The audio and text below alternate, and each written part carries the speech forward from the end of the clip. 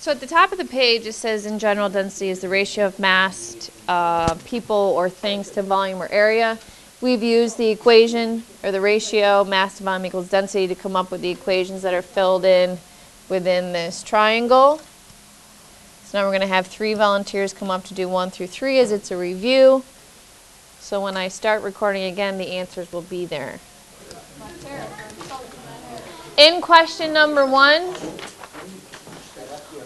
given the mass and density, we had to uh, compute the volume.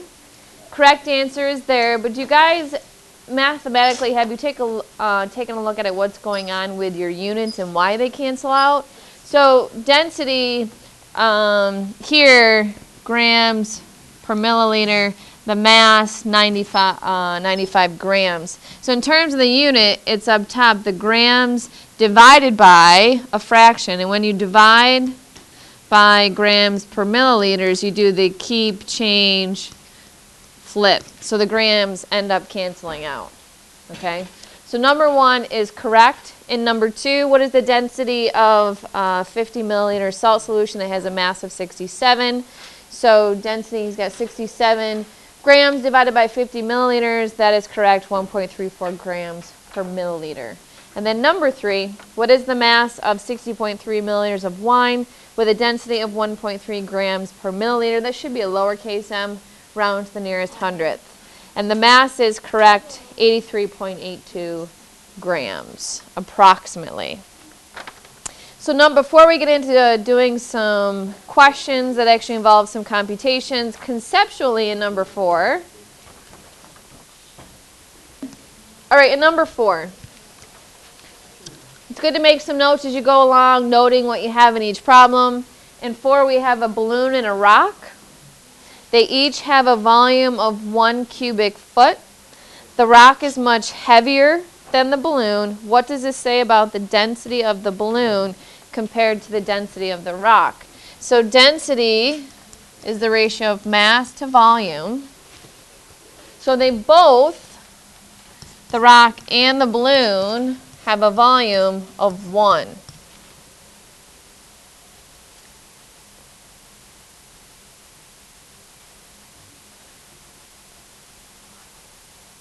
What can you say about the density given this information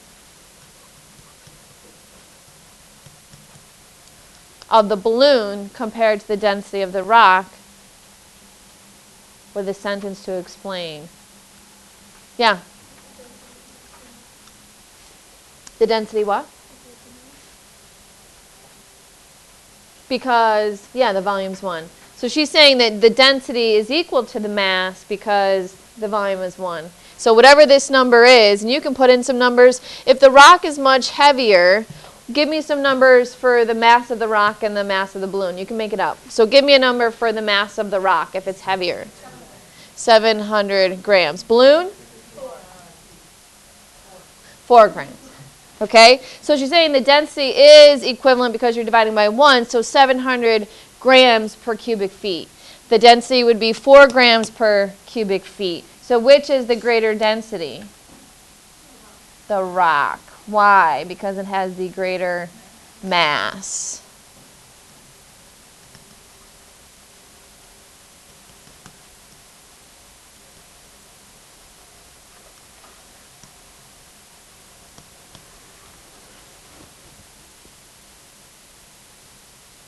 So in geometry, instead of just giving you the volume as you saw above in those questions 1, 2, and 3, we're going to actually have to do some calculations to determine the volume. So we have a rectangular block of copper metal that weighs 1,896 grams. Let's note the mass. The dimensions of the block are 8.4 centimeters by 5.5 by 4.6. From this data, what's the density? So density being mass over volume, we have the 1896. We need the volume. So volume for a rectangular prism, what's the formula? Length times width times height. So we have volume equivalent to 8.4 times 5.5 times 4.6.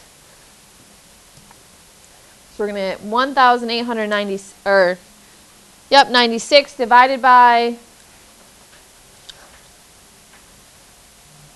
our volume here is 212.52 cubic centimeters. So 212.52 centimeters cubed. Our density is going to be to the nearest whole number, so approximately how many grams per cubic centimeters? Nine.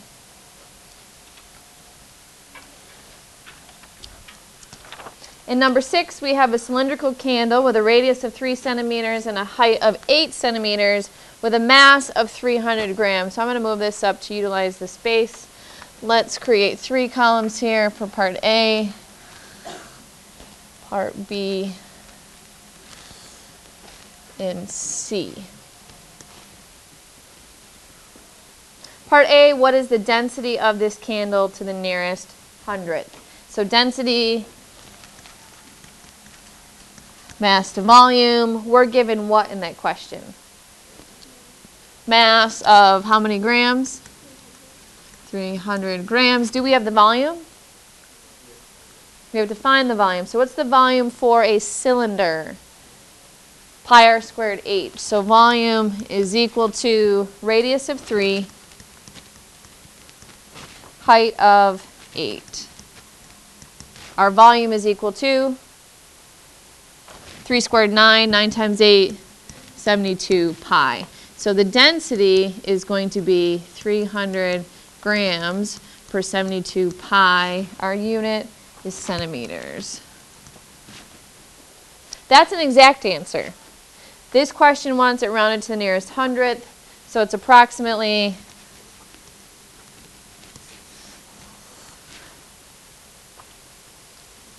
one point 0.33 grams per cubic centimeter.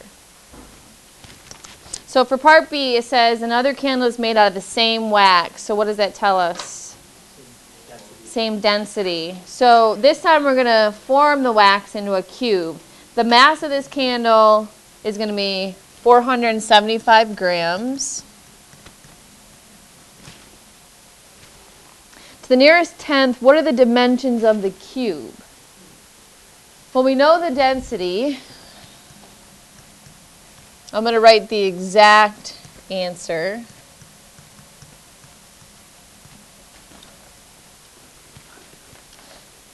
So in the equation, density equals mass over volume.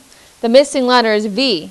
Can you use the volume that we get, or that we're going to calculate, to find the dimensions of the cube?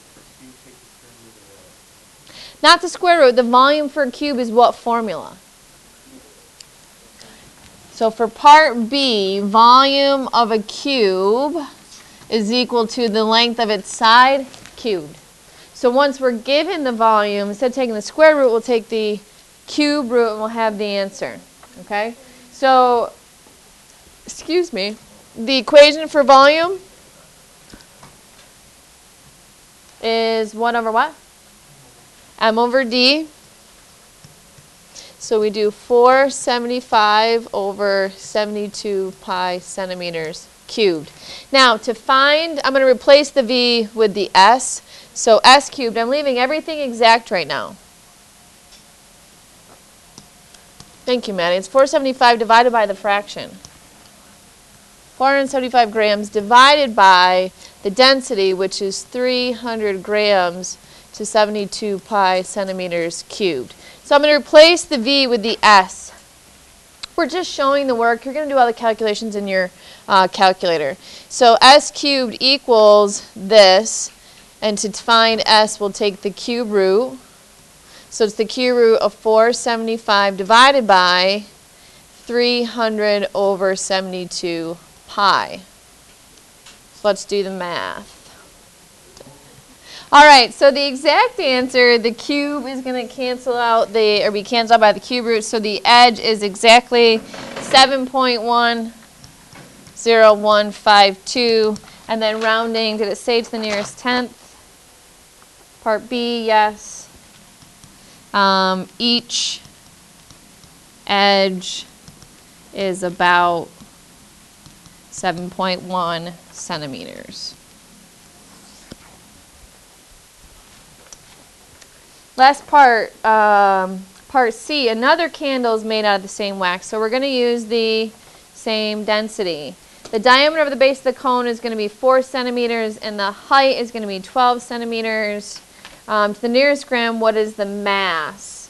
So density is 300 grams over 72 pi cubic centimeters. We need to find the volume. Volume for a cone is one third pi r squared times the h. Our radius is 2. So times 2 squared times the height of 12. So let's take a third of 12. 4. 4 times the 4 volume is 16 pi cubic centimeters. So now to find the mass, how do you find mass? Density times volume. So density, which is 300 grams over 72 pi centimeters cubed, I'm going to multiply that by 16 pi centimeters cubed over 1. You can cancel the unit, you can cancel the pi. So what is 300 times 16 over 72? We're going to round to the nearest gram. So it's approximately nearest whole number. How many grams? 300 times 16 over 72. Nearest whole number is? 67. Good.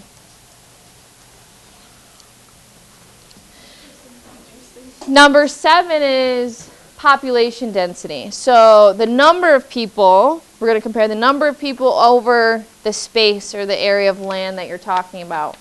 So there are 17,620 people per square mile in New York City. If New York City is 468 square miles, approximately how many people live in the city? So the equation is going to be 17,620 is equal to What's the right side? So population density equals the number of people over your area or space. So we know we have 17,620 people per square mile. So the right side is going to be, what is going on?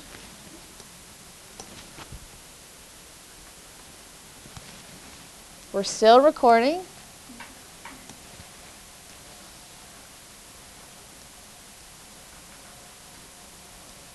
Little glitch within software. What's the right side? Do we know the number of people? No, that's what we're looking for. So we know the population density. We're trying to find out how many people, that's this top part here, so equals x over, what's the area of our city? 468. So quick product, x is equal to this times this, and we have how many people live in NYC. Can anyone read that answer to me? 8 million. 8,246,160. But I don't know if this statistic is true. I don't know if this piece of data, I don't know if it's true. Okay. Last one, number eight. It says there are 30 students return to the class after playing outside for recess. Over the course of the next hour, each person produces 800 BTUs. So how many total BTUs do we have if there's 30 people and they each produce 800? There's going to be 24, yes, because 8 times 3, but then how many zeros? Okay, so we have 24,000 BTUs. Mm, over the next course hour, we have that the room is 20 feet by 20 feet by 12 feet. So the volume, 20 by 20, uh, 20 times 20 is 400. 400 times 12 4,800 cubic feet. Now we want to find how many BTUs per cubic foot. So we take this 24,000 and do what? BTUs per cubic foot divide by 4,800 cubic feet. And how many do you get?